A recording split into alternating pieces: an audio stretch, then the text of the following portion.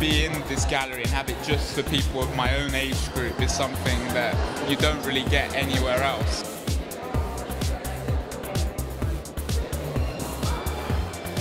As a young person that's exhibiting, it's a real uh, privilege to inspire other young people. I really enjoyed the talk from Lee. I thought that was really great to see that young people as well can actually exhibit in an exhibition like this. To see someone who's sort of only a bit older than us actually being able to do it is quite inspiring.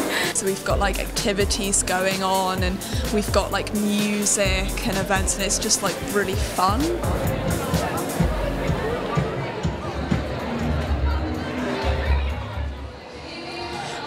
Me, we have Rosie Alena doing an acoustic set. So not only do we have art, but we also have music.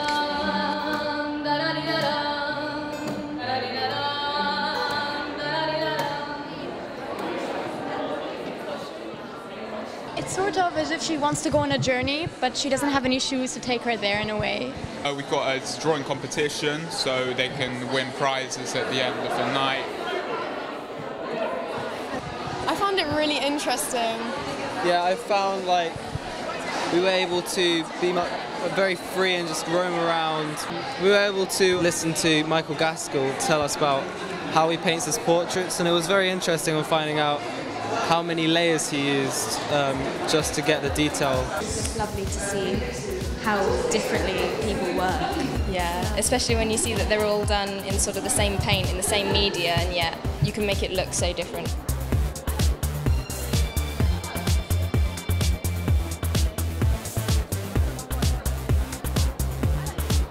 It was nice making connection between the arts. So you have music, you have art, you have people who are sort of into everything.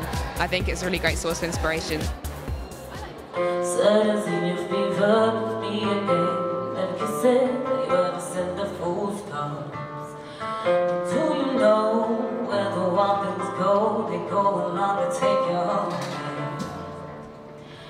Down now we build our breakfast now. Let's eat my love.